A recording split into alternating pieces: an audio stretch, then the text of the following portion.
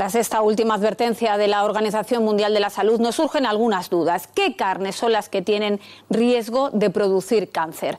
Por un lado, las carnes rojas, todos los tipos de carne de músculo de mamíferos, como la carne de res, ternera, cerdo, cordero, carnero, caballo y cabra.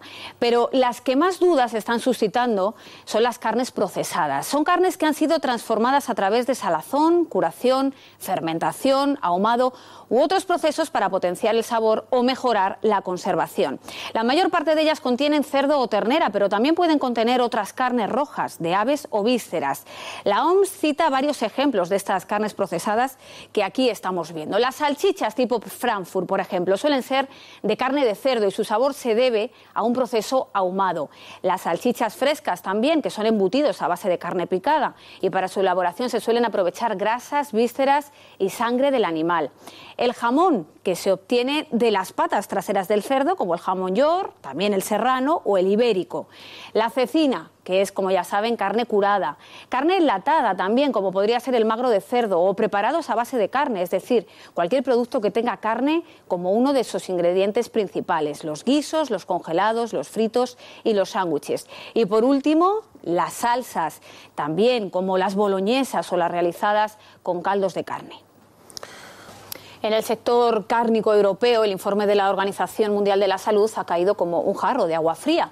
Rechazan enérgicamente la clasificación de la carne roja y de la carne y esa automedicación lleva a veces consigo errores a la hora de tomar los medicamentos. Evitar las confusiones en la medicación que originan empaquetados demasiado similares. Eso es lo que buscan los farmacéuticos, dos farmacéuticos españoles, con el lanzamiento de una plataforma online desde la que piden a Sanidad que los diseños de estos envases se diferencien claramente para evitar un consumo inadecuado.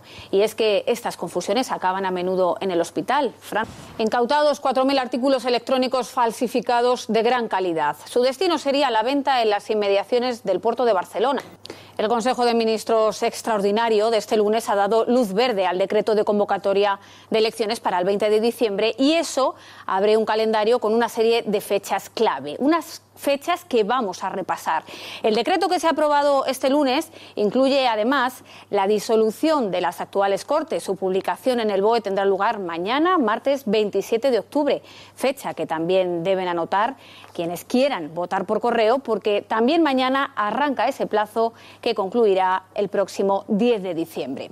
Otro periodo a tener en cuenta, esta vez para los que quieran ejercer el voto desde el extranjero, es el que va desde este miércoles 28 de octubre hasta el 21 de noviembre. 25 días para inscribirse como residente temporal o permanente y solicitar el voto de españoles en el exterior.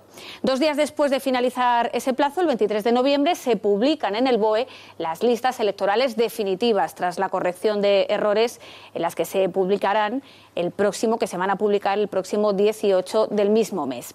La medianoche del 4 de diciembre será la del pistoletazo de salida a la campaña electoral. Los partidos comenzarán a pedir oficialmente el voto. Y el 10 de diciembre, recordamos, termina el plazo de quienes quieran votar por correo.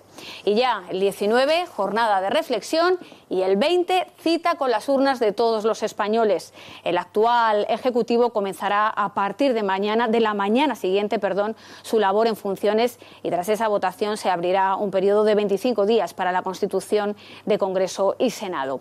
Aunque ya se ha establecido una fecha concreta que hemos conocido tras el Consejo de Ministros de hoy, el 13 de enero es el día en el que las nuevas Cortes deben quedar constituidas.